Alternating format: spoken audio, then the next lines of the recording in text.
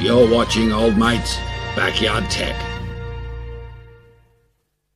Seems like every day of the week or every other day of the week, a tech company is in court, either up against another tech company, regulators, the general public, what have you. Well, Mac's Butterfly keyboard has landed them in court under a lawsuit. And guess what?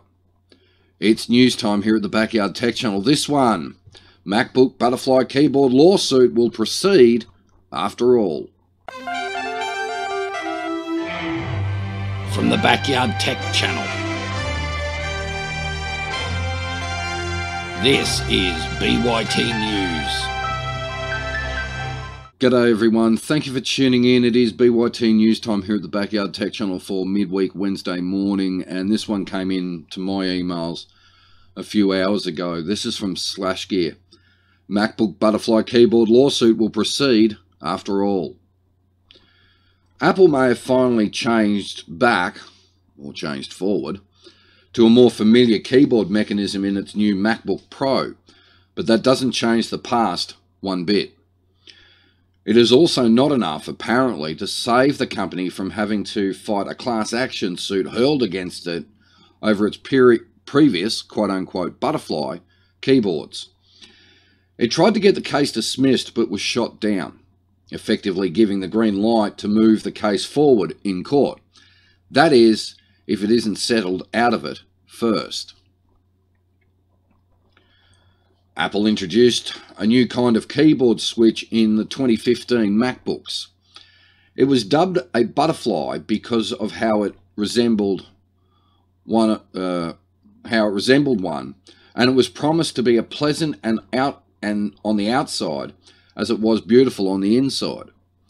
This time, however, Apple's famed reality distortion field wasn't enough to sway consumers' minds, especially those that have to deal with broken keyboards. So that was the butterfly mechanism. Now, I remember reading about this in something back in 2015. And my original thought, if my memory is right, was this this is going to fail. All right. So you've got the traditional scissor mechanism, and then you had Apple's butterfly. The pretty switches, it turned out, were quite fragile to even the smallest amount of dust particles, not to mention heavy use that the laptop users are known for. For almost four years, Apple never backed down from its new technology.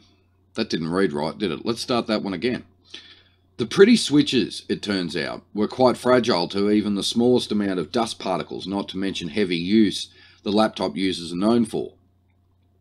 For almost four years, Apple never backed down from its new technology, only offering repairs and replacements with a similar but slightly improved butterfly switch.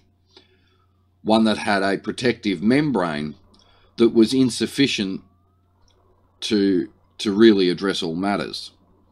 The class action suit claims that Apple knew about these and hid the facts from consumers.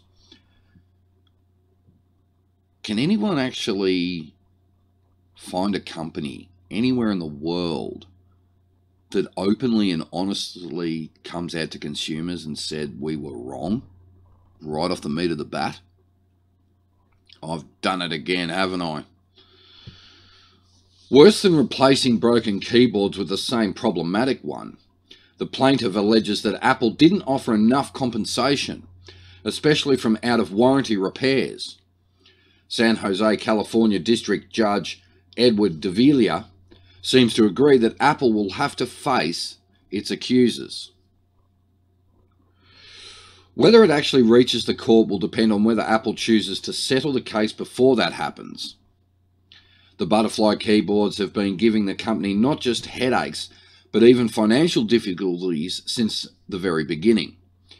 It wouldn't be a surprise if it decides to simply settle the matter out, settle the matter, and put it in the past once and for all.